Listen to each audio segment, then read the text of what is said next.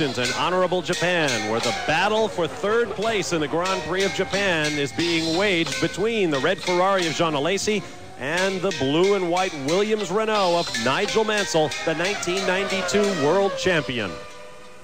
And Mansell spends the whole of the lap trying to get up behind Alesi. Here's the spoon.